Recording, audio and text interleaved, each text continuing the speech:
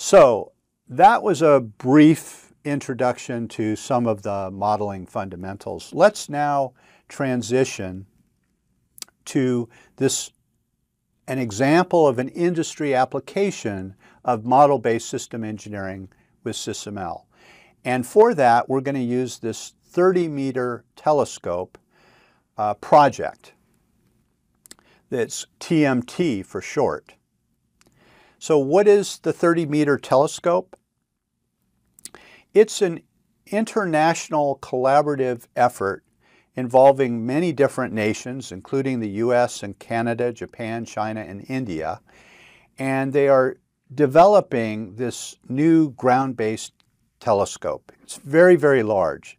It's part of a family of what they call extremely large telescopes. It uses 492 segmented mirrors uh, to, to get the mirror diameter. The idea of having a single mirror that's 90 plus feet in diameter is, and getting the precision, you can't do that with a single mirror. So what you have to do is create a segmented mirror and build the mirror up from these different segments. And then control each of the individual segments to give you the equivalent of a single mirror, of a cohesive single mirror. So that's one of the real critical technologies in these very extremely large telescopes. The TMT project has been working on finalizing the site location. They were originally targeting Hawaii. They came up with some environmental concerns. They're looking at La Palma, which I think is uh, near Spain. Uh, so that's still underway the finalization of that site location. But meanwhile, they continue work on the design and development of the uh, telescope. And in particular, they're looking at cost reduction activities. So I'm going to come back to that in a moment. Uh, the Jet Propulsion Lab, or JPL, is responsible for the design of two of the major subsystems, the uh, APS, which is the alignment and phasing system, and the M1 control system. And in particular, they're applying an executable model-based systems engineering method, or ESEM for short. And I have just a couple of slides that just illustrate uh, this, this application, just to give you a feel for uh, a real-world application. So if you look at this telescope and you look at the, this primary mirror, that's what's, what, you're looking at here. Um, and again, there's 400 plus segments in that primary mirror. What they're looking at is a, uh, a change to, to reduce the diameter from 30 meters down to 25 meters. So that red circle is the, the, the reduced diameter mirror that they're looking at. And in order to do that, you know, what they would do is reduce the number of segments.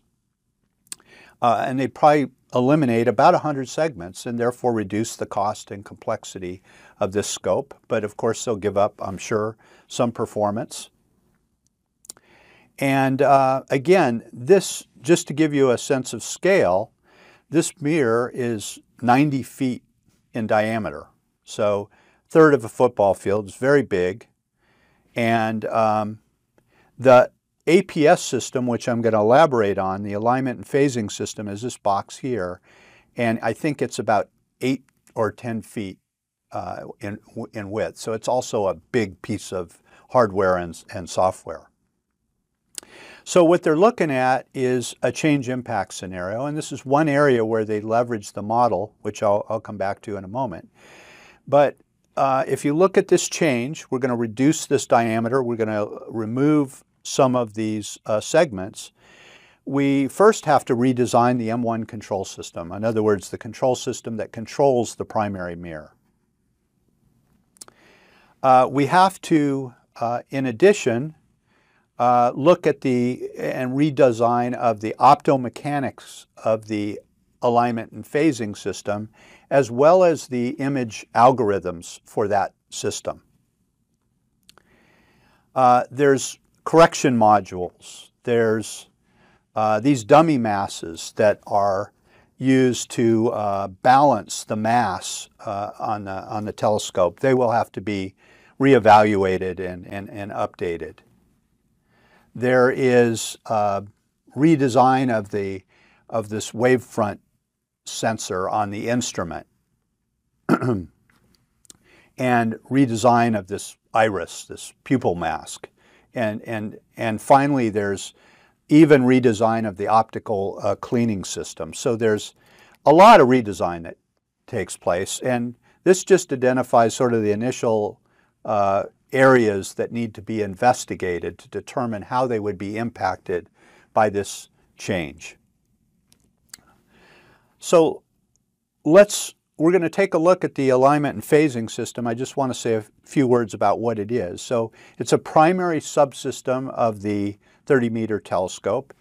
And basically it's used to, to align the primary mirror segments and such that, that they perform as a singular, coherent spherical mirror. The functions that it performs is it collects the image, it analyzes the image, it then determines corrections, and then it sends commands to the M1 control system that in turn actually controls the segment alignment.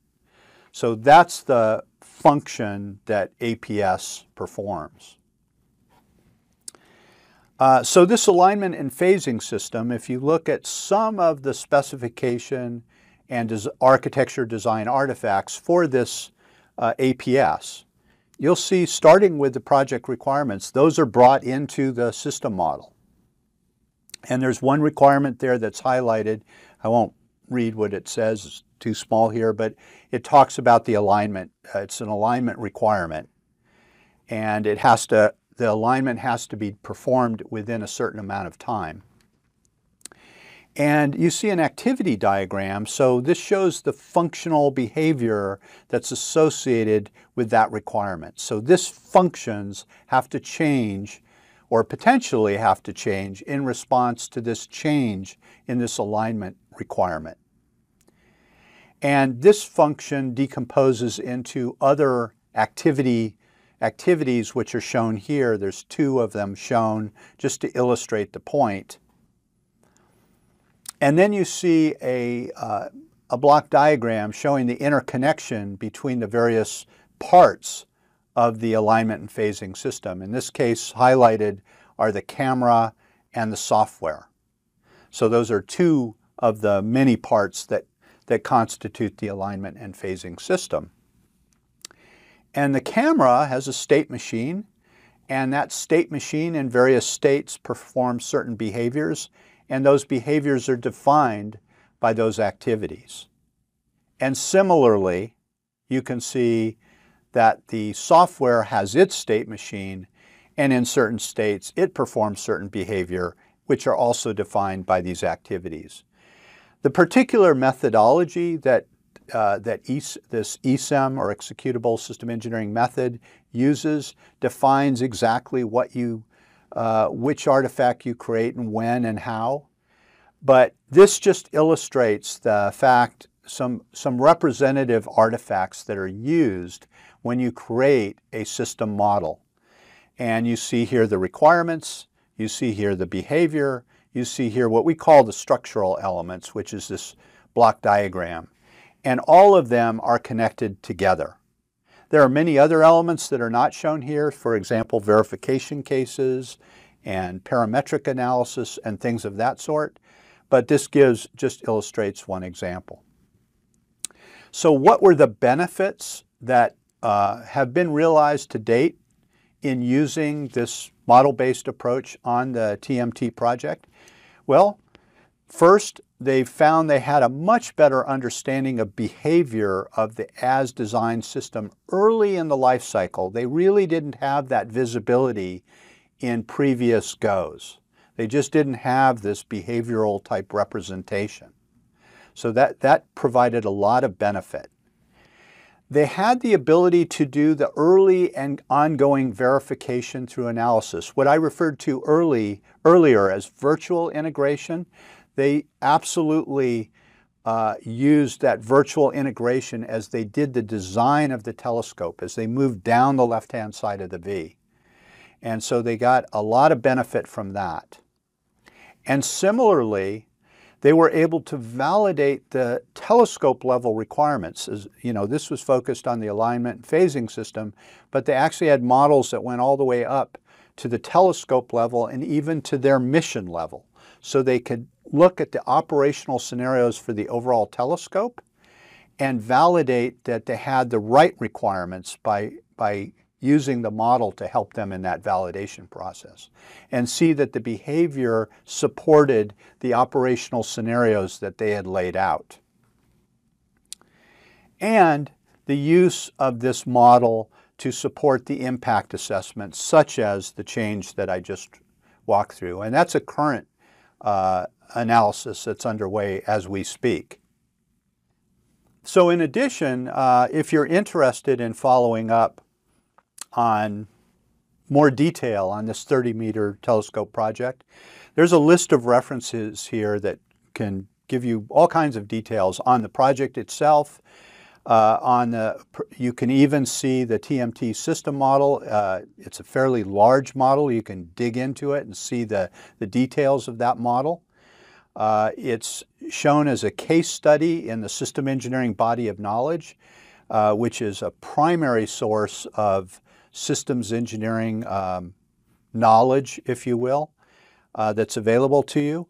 And there's uh, a few different papers. One of, one of them is listed here on the ESEM method, this executable systems engineering method, uh, by Robert Karban and uh, Herzig and Dekens and Elaasar and, uh, and others. So uh, please take a look at, at this if you're, if you're interested. Uh, just an acknowledgement statement that I, I, want to definitely include this. We, we thank the TMT project for providing these slides and they acknowledge that they're, they're collaborating institutions that I mentioned earlier uh, for their contribution to this project.